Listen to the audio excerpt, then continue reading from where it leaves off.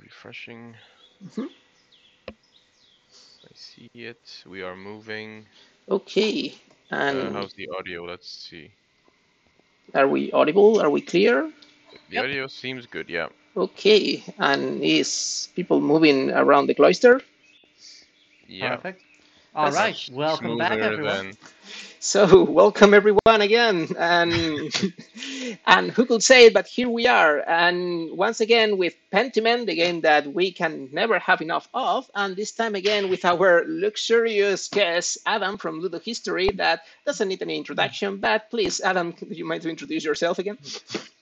Yeah, uh, my name is Adam. If this is your first time tuning in, um, I have uh, graduate degrees in medieval history and cultural heritage studies. Uh, I played Pentiment when it first launched uh, about a year ago now. Uh, I had a fabulous time with it. This is probably my favorite historical game, period. Uh, and I am thrilled to have been invited here uh, to join Sasa as we go through it again.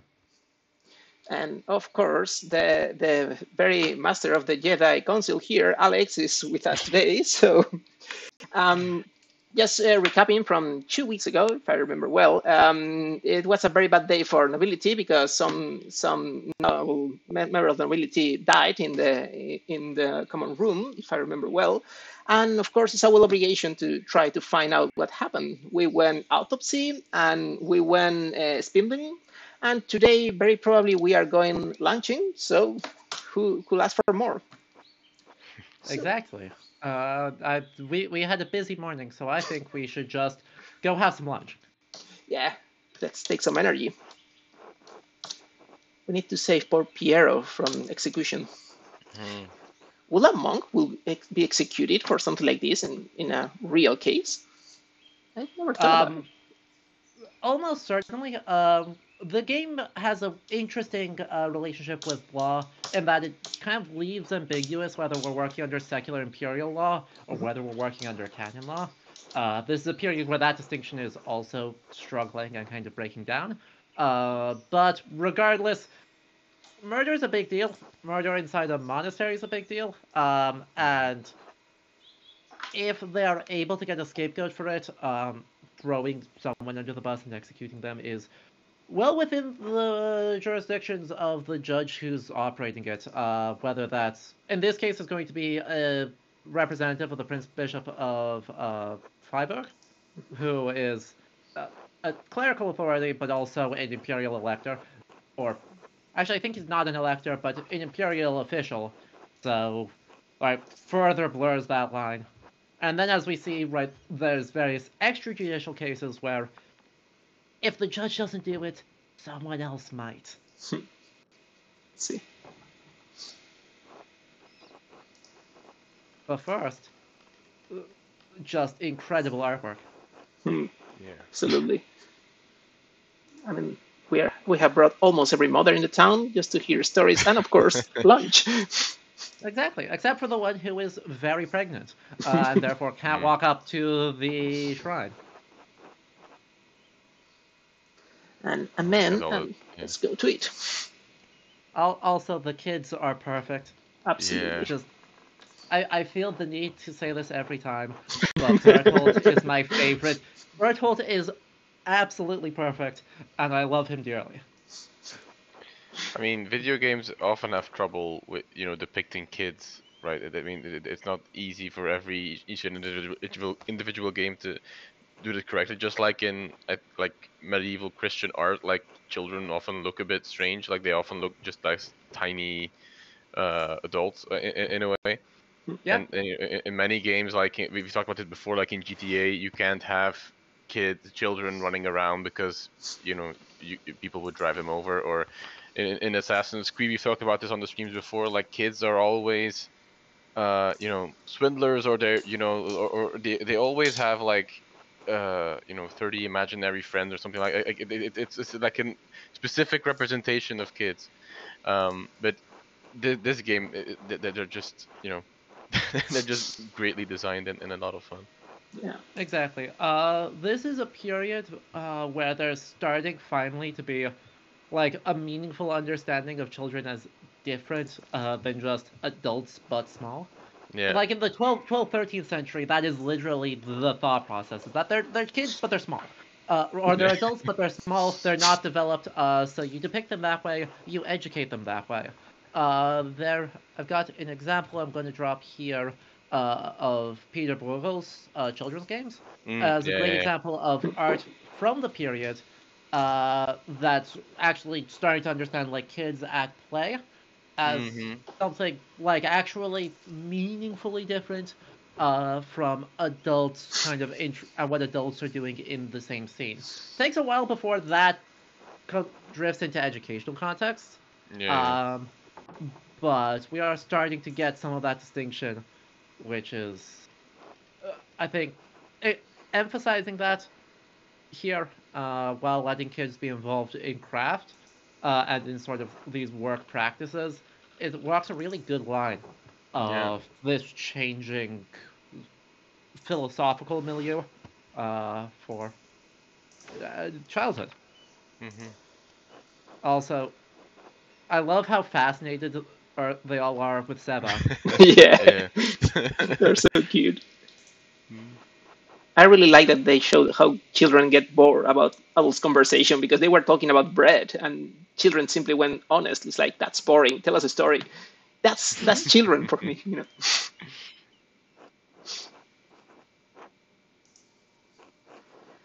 So the typical streaming question: What is your favorite Bible passage for today?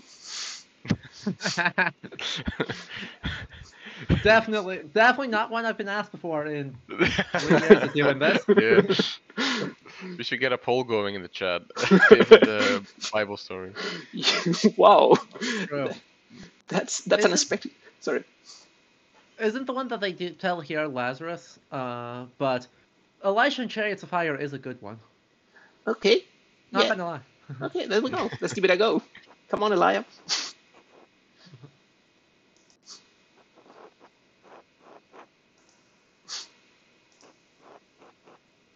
Jesus, from the multitudes. My nose.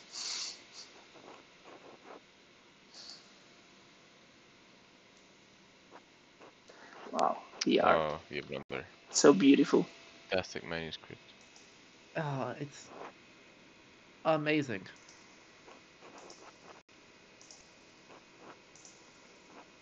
You know, this integration of characters in the manuscripts uh, makes me think all the time that we, we lost a big chance as humanity not to invent comic in, in the early modern history. There's there's actually some things that look awfully close to it, like how we conceive of as comic culture. Certainly not superhero, cer- not nearly as serialized, but like Dürer sells little like twenty page pamphlets of prints basically, uh, as like his first major things after finishing his training. Like his apocalypse prints circulate in a form that's not entirely dissimilar to how comic runs work. So it's like uh, it's not it's not comics, but there is some trends that direction. Interesting. Hmm. Um, I need someone to talk to. I think of those that. Um, hmm. Uh, let's go polite. There's- Good point. Are we doing a good run or uh After three streamings, this guy's going schizophrenic, probably. yeah, I guess so. Which is basically what happened when we when we did Stray Gods, uh, Stray Gods as well. yeah, good point. I remember we did a, a, a kick-ass run of, of of Stray Gods, and then I think it was this week that they released like the statistics, and uh, basically almost no one chooses the the kick-ass options. Hey, human nature. One day you wake up well, one day you wake up red. Mm, fair enough. That's worse. So Adam, you mentioned you know that these um, you know this, uh, I mean Seba's character uh, model is, is inspired by the Solomonic manuscripts. Like, how about you know this this this manuscript that they put in the game, like about about the you know the the motifs? Are they also from the same type of, of illustration, or are there are there any Yeah. other influences here? Um, they're they're working broadly out of the same tradition. Uh, there's definitely like some bleed between uh, Ethiopian Solomonic uh, tradition, artistic traditions, and like Southern Coptic traditions, because those Yeah. two are relatively contiguous. Uh, I'm trying to. I've been trying to find a like good uh, public domain example of an Mm. actual, an actual one to show you, oh, everyone, some of the similarities. Uh, unfortunately, my uh, Google Foo is not doing super well uh, to find something from this time period that's like a really good, a really good comparison Mhm. uh, to show. Uh, this one will work. That's 17th century, but it showcases the style relatively clearly. So, uh, using the Wikimedia Commons Alright, link yeah. there, uh, you can see right the the very obviously skin tone similarities, but also similarities in the way that they do hair and faces yeah, yeah, uh, yeah, between what you see saw in the game, what you see with Sabat, and what you see in that 17th century one. Uh, Mhm. I've seen like IRL some 19th century gospel books from Ethiopia that have some stylistic similarities. Unfortunately, I don't have uh, those were not digitized, uh, and I did not get good examples of them, so Mhm. I can't share those resources. But there are cases. You can see at least sort of the genre they're working from. Um, there's also some Tigray like chapel frescoes. Uh, let's see if I can find those, because those are also very, very similar. I have to say, with everything that you say say about this game, I, I I'm impressed more about it. Yeah. Oh yeah, no, it, Absolutely. it's it's- incredible. course. Yeah. Uh, and right, the the narrative writing team, the art team, uh, they just all did absolutely, Mm. absolutely crazy work. Uh, um, uh, like I had the chance to speak to Zoe Fransnick, uh, and right, uh, Martin, one of the other narrative designers, dropped in last time we were streaming this here. So, like, I have so much respect for the things they managed to accomplish and the like breadth of references that they've been Yeah. able to locate. No, because I mean, it's also not you know not, not the most well-known time period at all. Like like it's not that I, I I assume that they. I mean, it's not that they can rely on their audience to, to, to fill in gaps that they leave behind. For example, like because I mean, I mainly look at ancient Greek things, and, and you know that there is at least some element that most of the audience will be familiar with. But but something like this, I mean, it's absolutely amazing. Do Yeah, you know like how many people did like uh, or how big the, the team was or like how many people uh, looked at um, historical background for it? I, I don't remember off the top of my head, unfortunately. Uh, I know it's not very big, and not Yeah. everyone worked on the project the whole way through. Um, Mhm. I want to say it's around 20 people, but Mm. uh, if any uh, if any devs happen to be in chat, uh, please correct me on that because obviously we want to credit everyone Yeah. for the work they did. Of course. Uh, Absolutely. let me see if I can also find it. Uh, Yeah. The full credits. So the full credits are 300 something people, uh, but a lot of those are uh, Obsidian Entertainment and publisher Mm. uh, groups. So, but the full credit uh, has been made accessible there, yeah.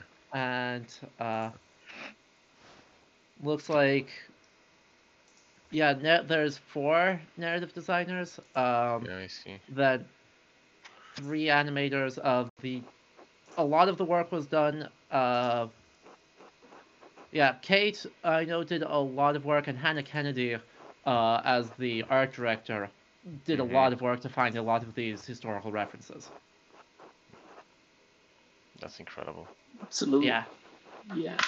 And I mean, we, we are we are kind of talking about how to use video games to teach in class and, and how to use them as didactic tools. I mean, if there is one that has all the possibilities in the world, here it is. yeah uh absolutely and helpfully Josh Sawyer has been super duper open about the decision making process. Mm. And actually, I know this weekend uh, on Josh Sawyer's Twitch ta- channel is going to be doing a redux of a presentation he gave live in Prague last week uh, on sort of narrative fictions uh, Mm. and balancing it in the game. Uh, one of my friends, Jan Kramer, uh, I know was at the talk and said it was really good. Um, so I am excited to hear it for myself.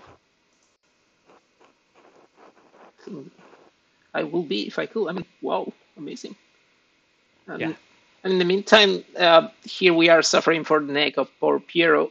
And um, actually, we have just received the orders that people with swords are coming closer. Time is running out. hmm So, And we're able to see exactly how little time is left. I think that's a great detail here because though this game is not precisely rushing, uh, but there is this this continuous feeling of time clicking. Very well, very much as any uh, researcher knows very well. Yeah, yeah. Oh, um, we do need to make sure we swing by the library as well today to go open up something for tonight. Okay, so shall we sneak in uh, before going to bed? Uh, we need to go in legitimately to locate the sneaky secret entrance, and then we can sneak in. Okay. Understood. Um. Okay. Shall we tell him, or I mean, shall we go clean? Um. Well, we are fooling around all the town, so why not? Exactly. Hmm. I believe in us. Uh, un- boo. Unfortunately, I found a great example, by the way, of the Ethiopian art Mhm. styles uh, from uh, the Johannes Makodi uh, chapel. There's not any images that are public domain, so um, we'll uh, leave that as an exercise to viewers, because uh, copyright is like that. But uh, this is the name of the chapel. It's a little bit older than this period, as far as I know. It looks like it is. Mm, It looks like it's. Nah, actually, I don't know. Uh, there's not a lot of information easily available on that, on the age of the chapel. Um, but it is a carved carved into a mountain. Uh, it is a rock chapel uh, of a style very common in sort of the older phases of Tigray chapel building. Mhm. So, I don't unfortunately know exactly how old it is, but it, it shows the style Yeah, really, yeah. really clearly. No, and it's yeah, it's it's very well replicated in the game. The like, like you say the the faces and and the uh what's the word like the composition Yeah, and the motifs as well actually. it, it's low key one of my favorite art styles, like globally in this period, uh, and I lost my mind the, when I first saw it.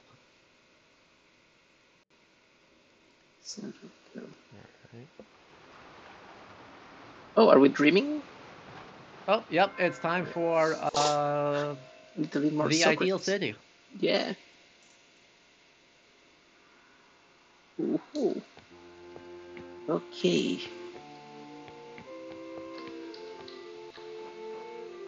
When are you coming home?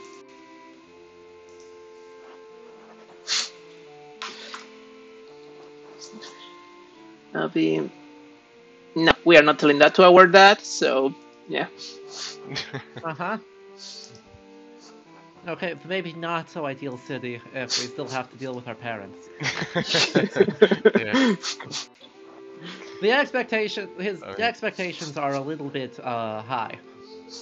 yeah, quite so. Um, I mean, th- th- there's a, a a very blurry line between dream and nightmare, isn't there? It sure is. absolutely. And when your father shows up, you know you have crossed it. Yep. yeah. Oh boy. It's it's. these puzzles. I feel bad for him. Uh, but Yeah. it is. This is good. Like this is good hi- from a historical perspective because these sort of very informal connections being utterly crucial for an artist to succeed. Mm.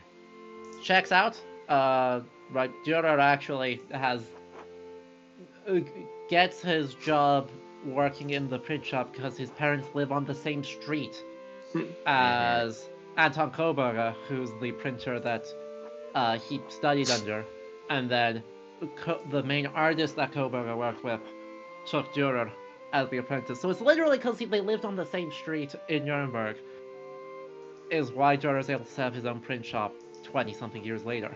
Hmm I really like this detail that he basically knows nothing about his fiancée, so she's just a portrait, in, even in his dreams. hmm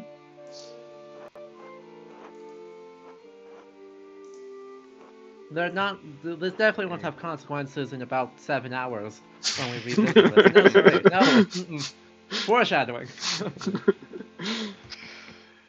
Yeah, um, in the chat, Magistrisa is saying that it's kind of true of the arts now too, and I yeah. yeah. I think so. Unfortunately, very much, yeah. Yeah. All right, Prester John, my guy. another another theoretical right in this period. Notice uh, there's some stylistic similarities between Mhm. Prester John and Sabat, though not a lot of stylistic similarities.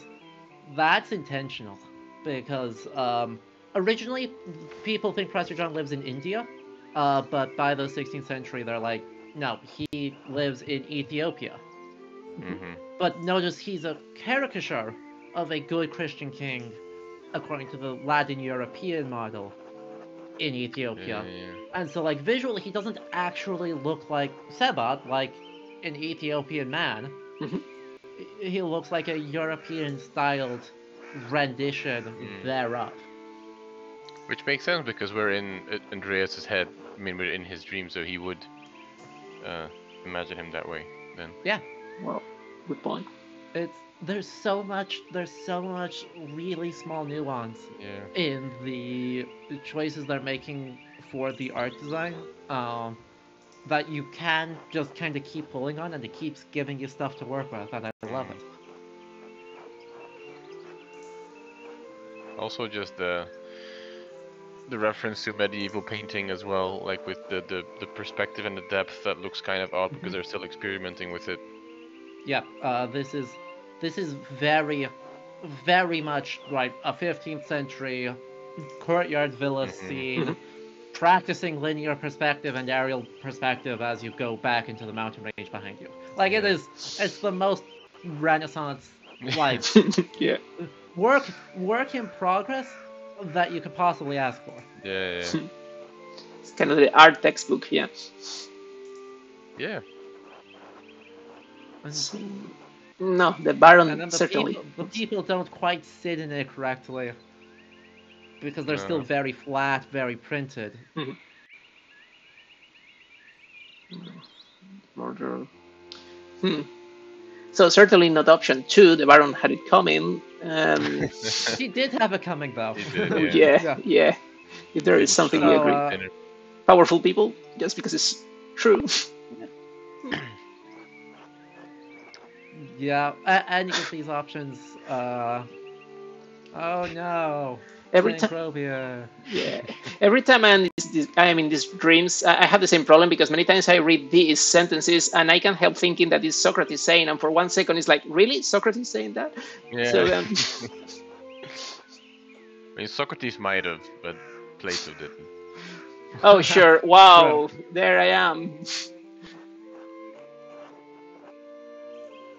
I mean, he must have had some, uh, yeah, vocabulary if he was sentenced to death because of what he said. So, Who you can imagine. Um, it's just him. Um, let's say authority. Yeah. Italian woman artist.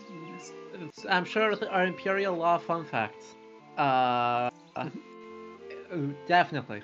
Yep. Um, reason. Wow. Huh. Truly ruled by reason. That's a good question. Um, Yep. Honestly. Uh, by the way, that's actually reflected in the game's code. Mhm. Uh, Grobian's comment there. Uh, if you basically do nothing and present nothing, it is hard coded what the arch archdeacon is going to rule in the absence of player input. It is not a random Right. roll. Uh, there's actually coded biases in how he interprets evidence and who he thinks is likely to do it. Ottilia. He does not like Ottilia Wow. whatsoever. Wow. So wait, have you looked at the game code as well, or how do you? I- I've not. I've not. This is working through reports I've heard um, okay, yeah. from the devs. Uh, I've not had a chance to actually, like, decompress the game's code and take a troll through it. Yeah, Data mining is hard. I don't. I've not practiced those skills. Uh, yeah, no, it's uh, you know early early game studies like we're trying to figure out how to best study games and and uh, people said you know oh we have to look at the underlying algorithms because that, that's basically you know, the, the blueprint of the game and that's what the game's meaning is all about but then uh, you know and pe- pe- people basically agreed on that but then it's like okay now we have to do it now we have to, to start reading this and finding this and it's not no, i mean it's very hard to do um, and I, I don't think I've seen a single analysis or something like that that, you know, that actually delves into the code or the algorithm specifically. Uh, except, Yeah. of course, if, if it's a, a game researcher who's also a designer. e- exactly. Um, unfortunately, it's just data mining tools are technically super intensive. Don't have a lot of resources. Uh, that's where I'm hoping um, tools like or institutions like the inter. What is their name? Uh, they have a big long acronym that I can never remember. Uh, it's the like the international International Council for uh, yeah International Center for the History of Electronic Games. That's a long Yeah. Uh, it's a long name. Yeah. Uh, they're based in the UK, but they uh, collect a lot of early video games, including um, collecting, you know, breaking down and preserving source code. Oh. Uh, the Video Game History Foundation also does some of the same things, and they're about to release a fabulous-looking uh, digital library. Mm, yeah. Oh. Uh, but they're focused more on like press kits, paratexts, and serials Mhm. about gaming rather than collecting the source code itself. So Yeah. while they intersect and they both are doing some of that, um, if we are able to get proper preservation standards and actually, you know, make Yeah. source code, even for you know old, out of publication uh, games instead Mhm. of new stuff, it would be such a powerful resource uh, to start Sure. kind of advanced game studies without having to just learn how to data mine. Exactly, yeah, Yeah. because it's such a big problem. Absolutely. Happen. What happened? Mm. There we go.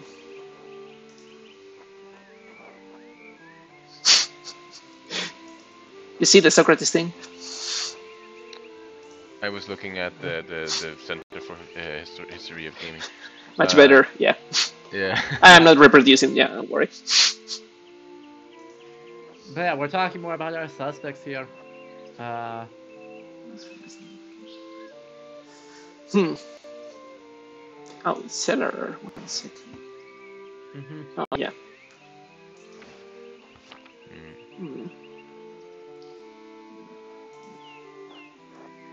Magistrate, so one of the nuns is notably very much gay.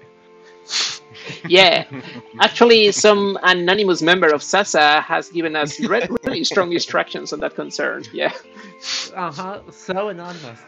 I, I I Yeah. wasn't here last time. Uh, have we encountered? Uh, Not yet, if I in it. remember well. I think I will remember. Not, we have, No. no, we have not uh, opened the secret entrance yet. So Okay. Yeah, so maybe we, are told off next time. Yeah.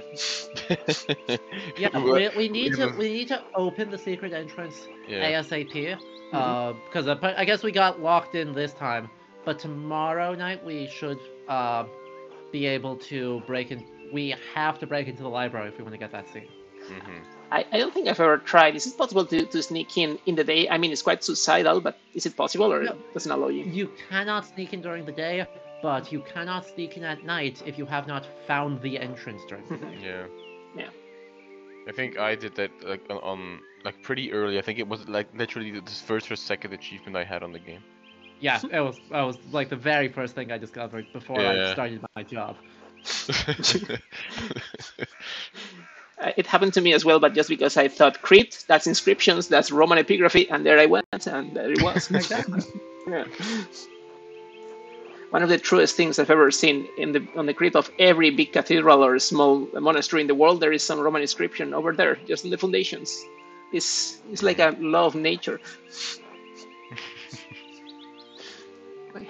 Yeah, that's a good one. Wait, I'm I'm surprised that um, it's giving us this dialogue because we hadn't done that stuff in game yet. Mhm. Like, we hadn't identified Matilda or had Brother Fulkbert uh, dig up the occult tools. Um, so, did we did we skip some time? I don't think so. The no, we didn't do the digging. No, we were. Last thing was. Uh, oh, sorry. Just trying to remember. Two weeks ago. Last thing was the autopsy, or was the um. Uh, yeah, the last thing we did was the autopsy. autopsy. Yeah, that's it. Or I guess the the sitting and gossiping.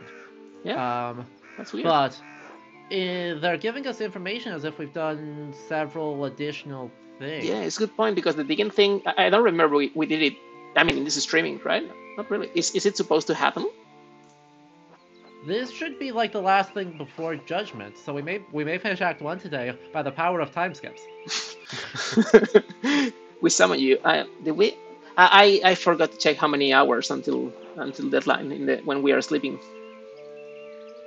Yeah. Oh well. Let's go. Hmm. Yeah. Weird. Oh well. Here we are. If this is what we're doing, this is what we're doing, and um, the certain uh, pseudonymous pseudonymous member of SASA will have to remain disappointed. we will we'll be uh, called out in a very stern meeting. Oh, yes. time, Or we are foreshadowing the possible reason for us to be repeating Act One next week.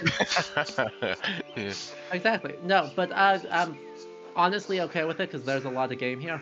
Oh yeah. and, you know, breaking into Act 2 will be very useful and open up a lot more discussion about what makes this game remarkable. Mhm. Or alternatively, we could make 2024 the monothematic Pentiment year in SASA. Who knows?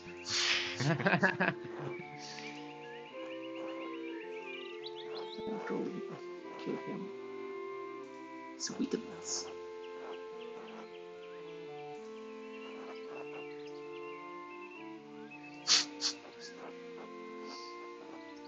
All right, so Yeah, it looks like that. Have have we spent that much time? I didn't think so. Okay. yeah, I don't know. It's weird. Um, Yeah. we'll find out real quick. Yeah. I mean, just as we wake up, Yeah. I love this design. Yeah.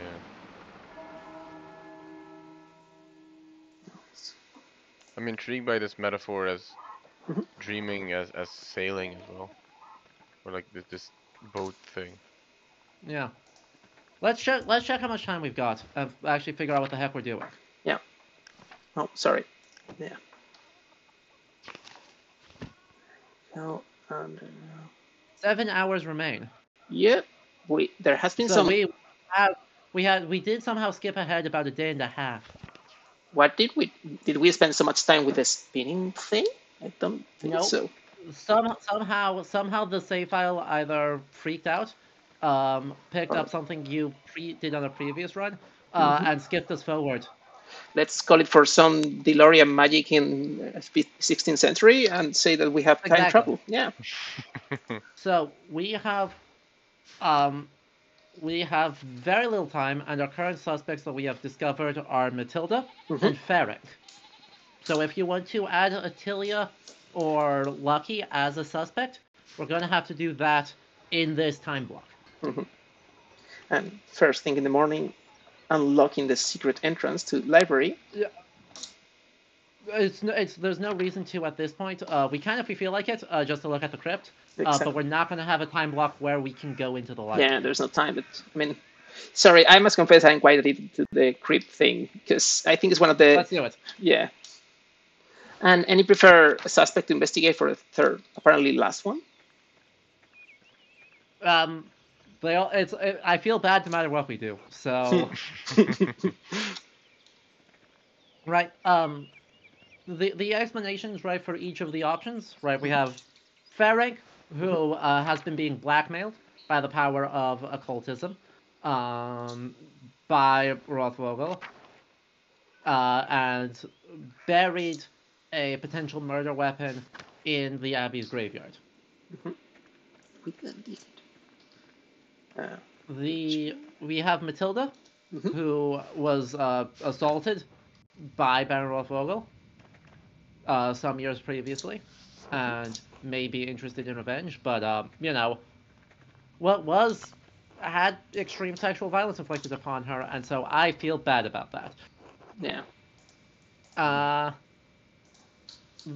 then Oh, we have Ottilia, um, who our Andreas doesn't really know, Hmm. but uh, right, Rothvogel killed Ottilia's husband uh, on his previous visit to the Abbey, uh, and he is basically. Oh, looks like you already did the crypt puzzle. Yeah, it's, uh, it's active.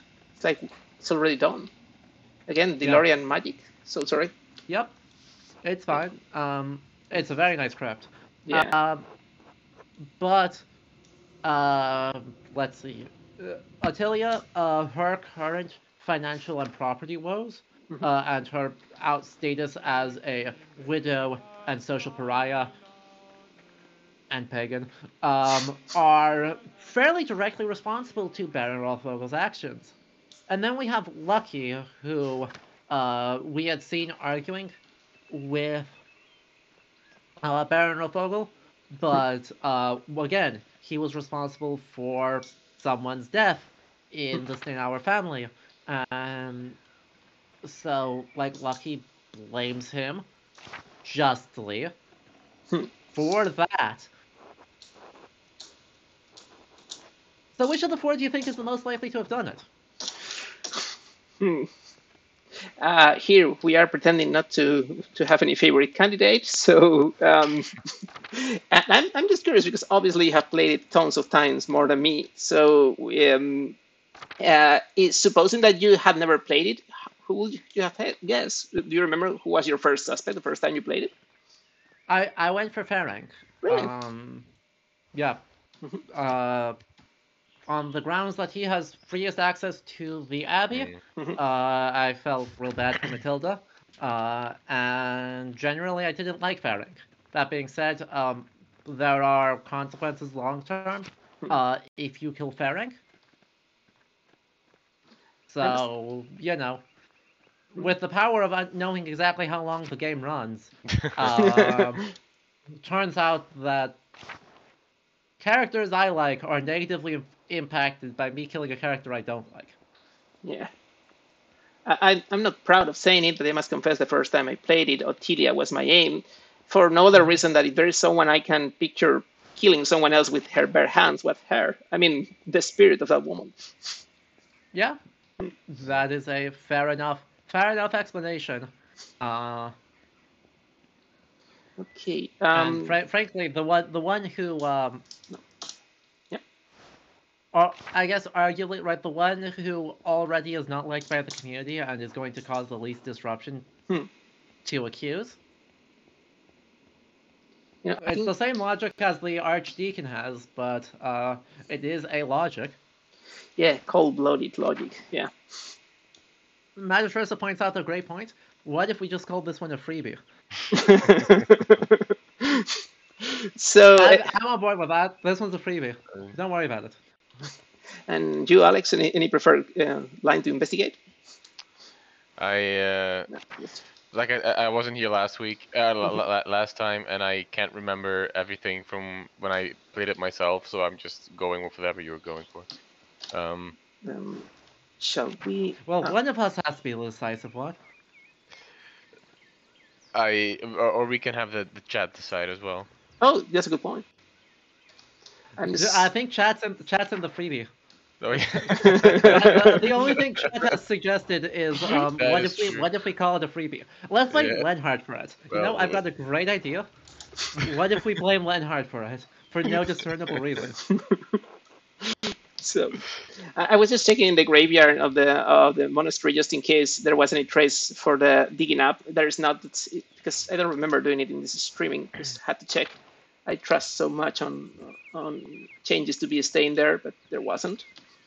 So Yeah, unfortunately, we already Mhm. did it apparently somehow. that's weird. Uh, Yeah, it's weird. We blacked out. We blacked out, and we already did that. Did anyone saw any blue box? Sorry. It's maintaining a sense of mystery. yeah. or uh, Andreas just slept a, a day and a half.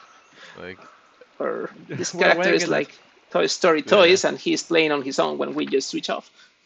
hmm Ah, yeah. uh, in the chat, Makisisa is saying, "Have you uh, guys ever tried writing a mystery? I'm working on one right now, and it's surprisingly hard. I don't know about It- you. Mm, I I don't write fiction. Everything I've ever written is nonfiction. Mm. So, no mysteries for me. Um, I I like to scrap some papers time after time, but uh, I must confess I never tried any mystery story. I don't know why. I guess they must be really hard. The, the biggest mystery I'm writing is my PhD right now. Um, Fair. but uh, I, I, I I do sometimes like write like short stories or something, but it very very occasionally. But I think mystery. I think that the, the difficult point is there is is one of course knowing your story, but at the same time is like how which information you reveal at what point. Um, I think that that's the you know the, the hard part. And it, but it's interesting that you know we we we've I think we've mentioned this before, but like Pentiment and uh, both Pentiment and Stray Gods Mhm. uh, a couple months ago, like they, you know, they, they- both like the the murder mystery thing, and it's an Mhm. interesting narrative mode I think to deal with characters and to listen to characters in a way that you that you're engaged and that you're you know learning about them instead of you know other games where you just um like you know like in assassin's creed for example like if you play for 100 hours like you won't even after that like you won't remember 50% of the npcs you've talked to I, I guess or like their names because they're all pretty inter- interchangeable. It's all about you know going there doing that returning and get your reward.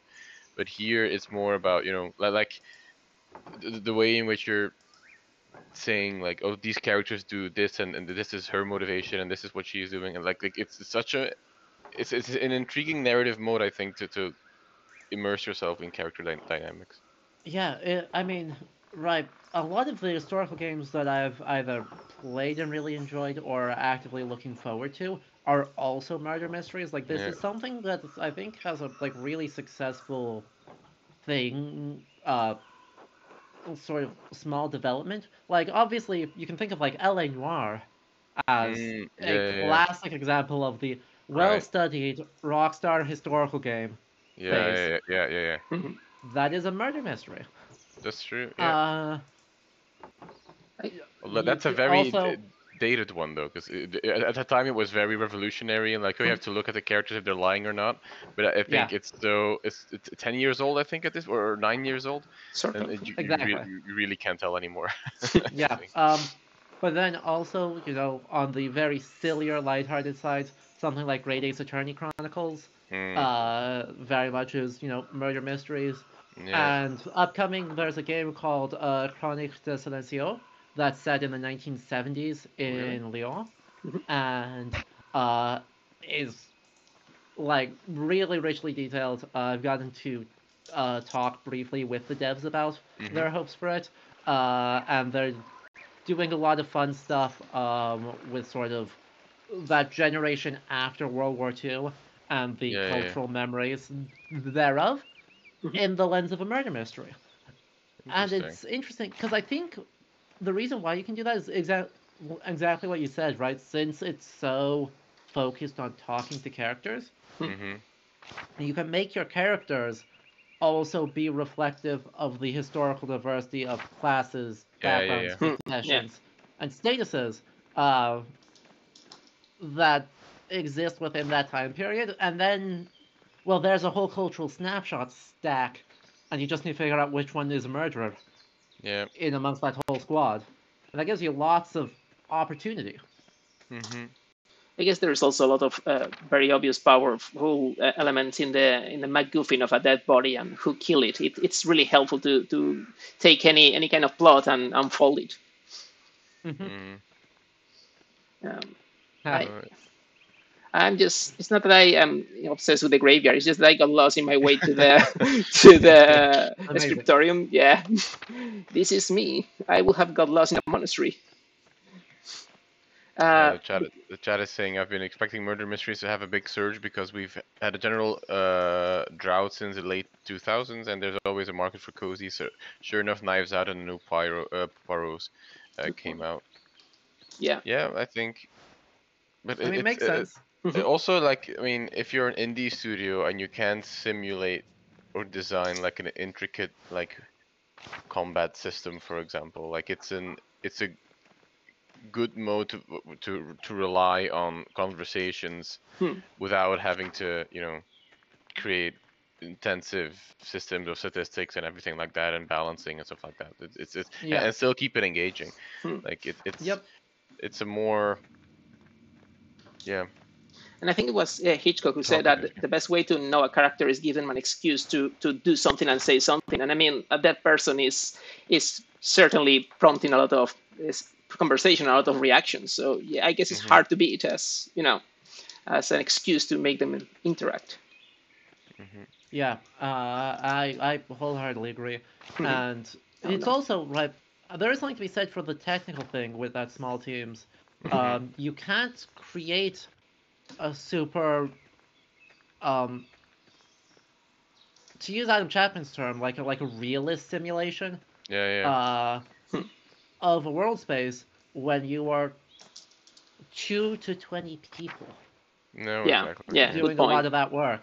Um, it's just that even with store bought assets, that's not feasible. Mhm. Um, so, but there's at least a perception that you're able to do, you know, 10,000 words of writing, yeah yeah and then you have a visual novel. And if you want a visual novel that's a little bit less um, linear, hmm than uh, a lot of them. Well, a murder mystery is a great way to have players feel like they're do- having agency instead of just reading cutscenes over Yeah. and over and over again. You're right Actually, it's very telling that one of the great, most interesting masterpieces by Neil Gaiman about the, the creation of the world and, and the birth of, of Satan. I don't remember the comic, but it's basically this interpretation of the creation of universe. It's all um, threaded all around the investigation of a murder, plain and simple. And he's re-explaining the, the very beginning of Bible in a comic with uh, a murder mystery. And I hate not to remember the title right now, so sorry. But it's really easy to find. Uh, Mm. yeah, erudite mention without title. That's a new new style. Sorry. But there also used to be games that I remember playing as a kid, but which were also like mysteries, maybe not murder mysteries, but, mysteries and nonetheless. But that, and then if you played them, you know, a second or a third time, they would have a different outcome. So you, you, know, you you remain you remained engaged that way, which I think is a very unique way, or, or you know, unique way for for a storytelling medium to do it. Yeah, that, that's I mean, that- that- that's kind of the, the, the letdown with like murdery mis- uh, murder mystery uh, film, right? Once you've seen it like the Hmm. second time, it's, it's not going to be as engaging, um, unless it's very well crafted and you notice things that you didn't see the, the, the first time you watched it. But with games, you can explore that a bit more, I think. Yeah. Um, I mean that that also right thinking about you know different types of mysteries. Right. In some ways, the FromSoft model Mm, where it's like, you know, literally existence Mhm. is very much a mystery. Uh, Yeah, yeah, like yeah. what the right? It's like the vic in Elden Ring.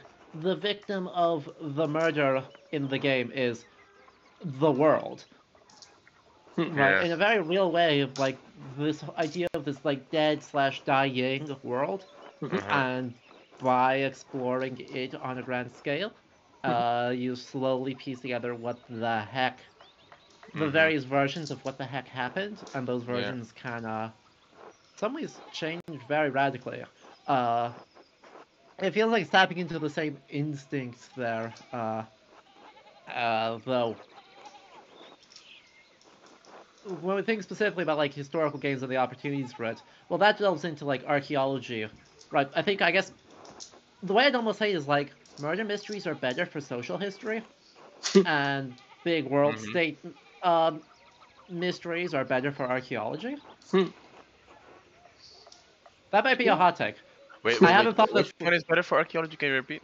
Like the the Souls like big like world state mystery. Yeah, yeah, yeah, yeah, Exactly. yeah. Okay, yeah. No, yeah, I, yeah. No, that, that's a good, yeah. I, that's, uh, that's, I like that framing. On, on that topic, I'm gonna put a link in the chat Mhm. of a book that's coming out next year by a colleague and good friend of mine uh, on, uh, uh, you know, Elden Ring, Dark Souls, um, uh, narrative complexity, digital communities, and interpretation, which tackle some of these issues or some of these topics. Oh, Um, Amazing.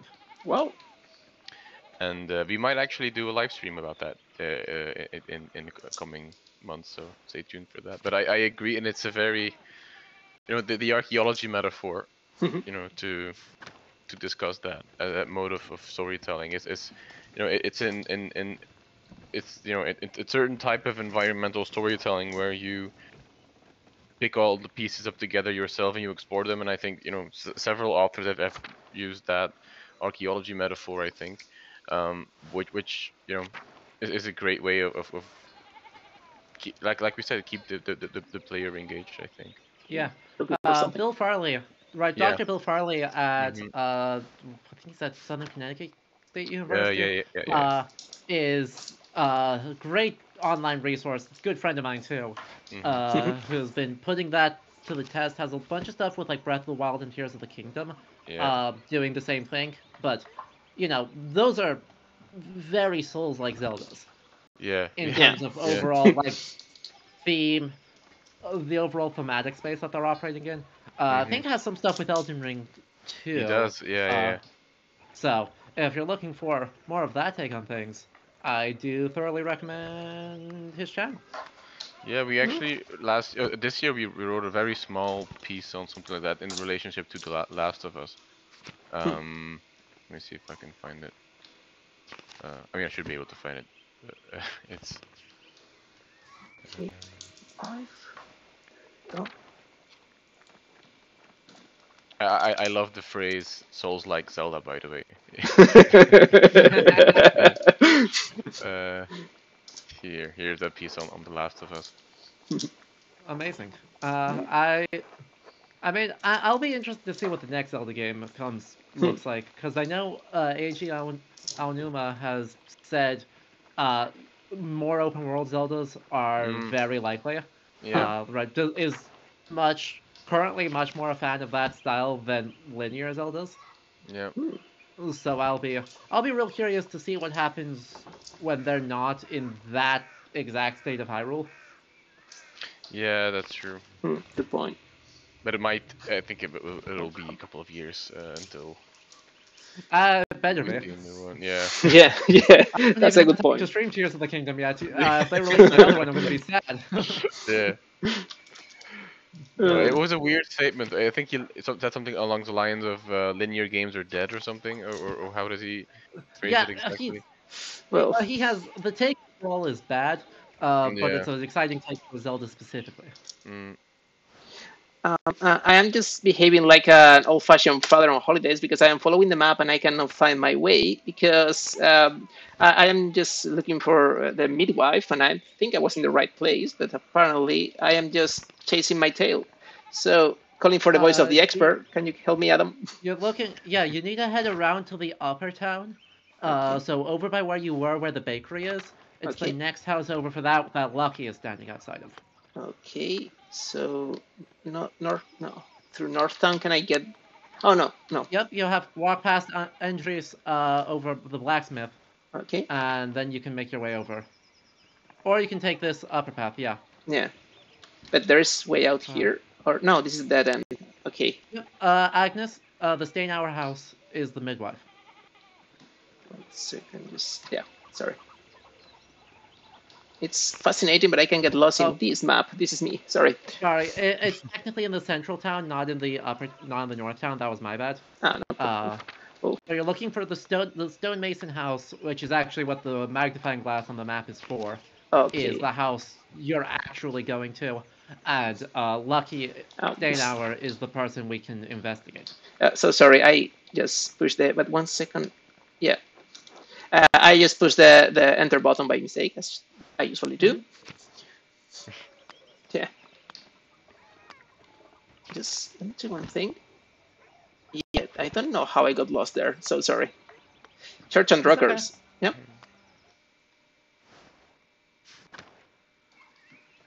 But uh, hmm. okay. Wow. What are you What are you trying to do? Yeah, getting to to the midwife as, uh, but it's just that for some reason I, I it's clearly something I am missing, or I am, or I am more frightened than I thought. But didn't you? Didn't we say central town there? Okay. You, you went to you, you went to the midwife already. Um, right, Agnes Daynauer is the midwife. But it's not. The, yeah, Uh, but that's, then it's not so- possible to investigate with her. Lucky Steinauer, the stonemason, is the person you can actually investigate. So we've got two people left that we can investigate, right? We can either uh, go to fo- like follow Lucky Steinauer ar- around, or Mm-hmm. we can head out to uh, Widow Ottilia's farm and we can Mm-hmm. go talk to her. And those are the only two people that are going to give us useful things at this point. For some reason, I, I had forgotten about the midwife. I I think that time time warp has really affected me. So sorry, people. Yes, yeah, central town. Lucky was over there. There you go. hmm Yeah. Wow. Where were we? Mhm. Things to do.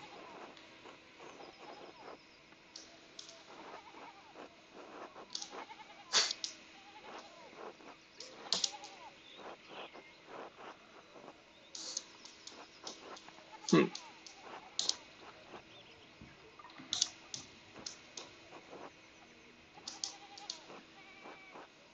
Hmm.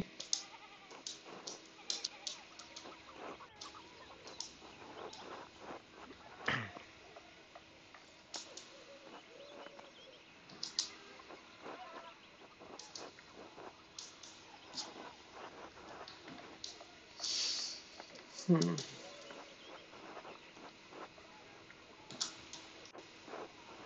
hmm Yeah. I love this thinking thing. It's so so human. Yeah, we- we, we mentioned this in the first Mhm. uh, Pentiment stream, didn't we? About you know the character's interiority Yeah. um, yeah. and, and how it's represented, and I think it's like like uh, I think I said it back then as well. Like like um, the big game study scholar Espen Aarseth said said in 2004 that games are awful in conveying the inner lives of their characters, or better uh, they they don't even try to do it. But I think we've seen with examples like this and not many others since then that it can be done. But it's interesting that they usually always refer to it, um, uh, you know, techniques of literature to do it. Yeah. Um, and and you know, I, I think of all, I mean, of, of all storytelling media, I think literature is perhaps still the one that is most adept at conveying interiority that way. So it's interesting to see that Hmm. uh, as well. And I also wouldn't know any other way to specifically. It's kind of like voiceover acting, but it's it's, Hmm. it's also kind of similar. Yeah, uh, I've been trying to think of like good examples that think through things, I don't know, in other ways. Mhm. uh, uh, Pentiment does does a very like literary, straightforward way, but like um, Mm. uh, I've been trying to think of like games that also do it, uh, which is I don't know. There's been some interesting things uh, with like a game like Book of Hours trying to use like soul elements uh, as persuasive tools, but that's not really interior lives. That's more of just Yeah. Uh, magic, li- literal magic powers. Uh, yeah, yeah. Yeah. Associated in a very religiously motivated way. You know, another example of techniques I've seen used is, for example, in in the new God of War's uh, games, it, you know, the, the codex and and or like the diary method as uh, as well that, that they Hmm. you know they they collect their own thoughts on other characters and that kind of conveys how they they think and you can get like substantial you know characterization elements in those entries but it's again it's it's it's, it's yeah it's basically literary Yeah. Yep. Sometimes movies have been very skillful doing that, but it's true that in games it's so hard to find examples. Yeah, because I guess it, it's it has to be very like in movies it has to be very subtle almost like No. it oh. has to be a very mm-hmm. Like show don't tell thing like that like you have to see it on the actor's face and in games it, it's you know I don't think we're fully there yet even though we are so you know we're always evolving towards photorealism but even then I think Mhm. you know it, there's still that uncanny valley problem that many games have Hmm. um so I, I don't know. Mean, Another way in games maybe that you could do it is um, to, to reflect it in the different types of choices that you can make. Yeah. Um, and but then it quite often reverts into this. Uh, not not here, but like, like it very often g- just goes into a binary good guy bad guy situation. Hmm. Um, yeah. Yeah. Red Dead Redemption 2, for example. Yeah, Hmm. and, and and so it's kind of reductive or simplistic in that way as well. So I don't know if, if we've had like a, f- I mean, at least in my experience, like a fully like immersive Hmm. game. Hellblade. Hell- Hellblade is the closest I can think of, honestly. Right. Good Yeah. point, yeah. where they're doing they do some smart stuff that other media really can't Mm. uh right because while binaural audio is starting to be um something that you see in like foreign uh digital movies etc um really leaning into that uh for combat not really something that we see in a lot of other things but you know the amount of work they put in with Yeah. psychological and trauma consultants, hmm uh, and relying on a very specific psychological traumatized. Right. Firstly, you know, uh, Mhm. having having psychosis, um, and then being traumatized on top of that, uh, as like creating such an extreme mentality uh, that it almost becomes more possible to display it versus Mhm. someone, uh, I guess, more neurotypical and someone that you want to reflect a historical average. Yeah, yeah, yeah.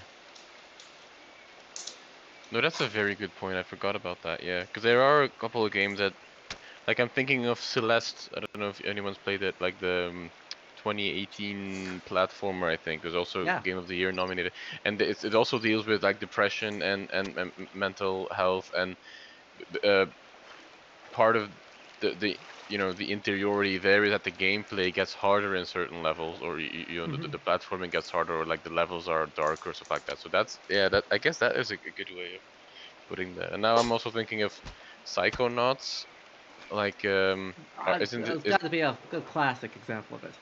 yeah like like, Hmm. like how you know the levels reflect that so i guess yeah level design Yeah.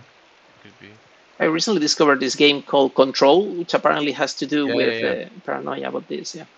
Yeah. Mhm, Uh, yeah, con- yeah. The remedy the folks at Remedy do some uh real mhm. really really interesting work uh right. Alan wake 2 theoretically. I've not had a chance to play it yet but uh i know supposed to is supposed to have a lot of that and uses a lot of the Yeah. same sort of like dream logic um level design as a way of communicating uh sort of mental states. So that seems Mhm. like the very prom that seems to be like the industry's current solution to that. Yeah uh, Hmm.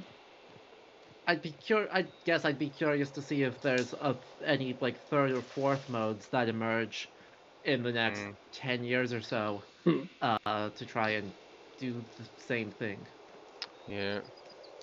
No, I've also haven't had a chance to play Alan Wake 2, but it looks fantastic. And and apparently I've heard there's uh oh we have a tombstone here.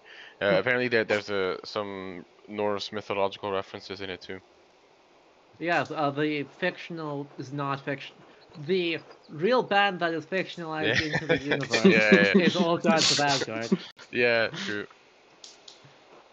But wait, I see. and also that performance at the Game Awards ruled. Yeah, true. The, the, you know, the Game Awards very controversial, and and you know, but but I think whatever your your thoughts on it are, like the music is always the best part, like the orchestra Hmm. and and and, and the the the uh, you know Blue guy, my beloved. Yeah, Yeah. flute guy. Yeah. Oh, he's fantastic. He's oh, it's it's amazing. I I play flute and I collect flutes and I am jealous of his collection. oh, really? Whoa. I mean, he he upgraded this year. Like every song. He got a yeah, every, yeah. contrabass. Yeah. He has a contrabass. Mm. It's God, those instruments are like ten thousand dollars a piece because they're Wow. so there's they're so hard to produce in any quality because they're Mhm. so big. Yeah, but no, but the- the- uh, the- I'm jealous. Yeah, no, Yeah. it's it's fantastic. Ooh. By the way, I see um, Max's comment in the chat saying, Mhm. "I wish more games would go for an engaging, believable visual style instead of the endless quest for more photo real. Uh, there are better places to put that massive chunk of budget besides trying to make games into movies, and some of that is the writing uh, necessary to not have it just be a follow-along story like a movie." And I 100% agree. Yeah. I think the most interesting games are not the ones that put all of their money or budget into trying to be photorealistic. Not to say that photorealistic games can be interesting, of course, but I think in general, like the the the, the indie games that don't do it uh, are are, are tend- to present more elaborate and more interesting narratives. hmm Quite agree. Even even playing with okay, not realism, but trying to be very naturalistic at some points crosses the line. Um, I am just trying to remember the title um, successfully of this uh, video game, quite indie, which is uh, in this island in which you are basically this uh, first person who, who is a painter, and part of your of your very objective is to find good spots to get a good angle or to get a, get a good perspective. And many times you are feeling a lot of realism, although most of the people are basically animal human hybrids. And no, I don't remember the title for the life of me. Sorry for my Alzheimer, people. No, I think I'm not it sure either. does ring a bell. s- Um, Mm, uh, uh, Yeah. Let's see if I can find it. Um, yeah. No. yeah, I will. Probably I will apologize about a lot of things next streaming, and I will bring the links. no, no. uh,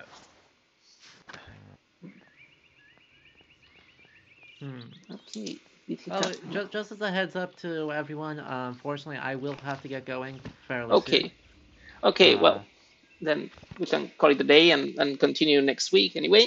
Uh, you agree, Alex? uh, yeah, I mean, yeah, Yeah. Uh, that, that, that's Uh, good as well. I mean, Yeah. Uh, unfortunately, I don't think I'll be able to join you next week because I'll be traveling for the holidays at that Oh. point. Uh, but we'll we'll talk we'll talk after stream to figure out what that schedule looks like. Uh, but yeah, uh, I guess we will finish off Act One next time then, and kind of press into Act Two. Or hopefully sometime. But yeah, the, the day will come sooner or later. But yeah, and, and uh, as, as usual, it was an amazing pleasure to enjoy your your encyclopedia in your head, Adam. It's uh, it's incredible to hear you speaking about this game.